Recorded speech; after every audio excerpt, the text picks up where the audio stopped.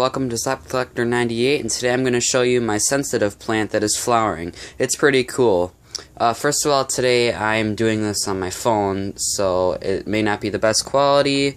Just hold on there though for a second. Alright, so this is the sensitive plant. Those are the flowers right there, and they're actually flowers everywhere on all the tips. On all the growth tips, there are flower buds everywhere. I don't know if you can see them or not, but those growth tips right there are loaded with the flower buds, and they look like that. They come out with a little cone-shaped thing like that right there, and then they turn into that. And the sensitive plant is really, really cool.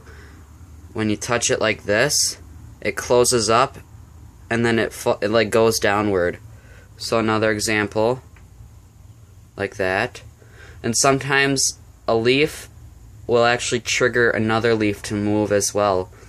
So not only can you just touch one, like if you touch it, it'll slowly trigger them. I don't know if you saw that, but yes, see, I touched it maybe five seconds ago, and then it moved down about five seconds later. Wow, those leaves just closed up over there. Alright, back to the flowers. So the flowers, they feel like nothing, actually. You can barely even feel them. They're like powder, basically. Like, I don't know how to describe them, like powder puff, I don't know. I've heard that somewhere. But, like, very hard to describe. Just, you can hardly feel it. It's like tiny little hairs just rubbing up against you. You can hardly even feel it. But also on this plant, there are thorns. I don't know if you can see them. It's kind of hard to focus, especially with my phone. But there's little thorns right here. They don't hurt a lot, but they're kind of like um, thorns on like a raspberry or a rose. There's not too many. They just come every now and then. But yes, this plant also produces a pod that has some seeds in it. Um, I don't know if I'll be able to successfully make that fruit or not. And then I'll try to maybe start some more plants if that does successfully fruit. Uh, it's maybe like a little, like, three-inch pod.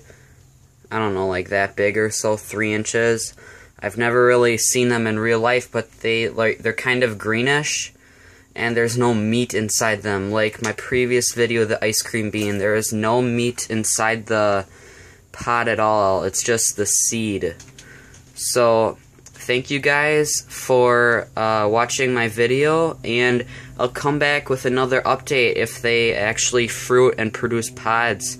And then I'll show you guys a video on me sowing the seeds and having an update later on in the end with those tiny little Mimosa pudica plants that come up. That's the Latin scientific name for the plants.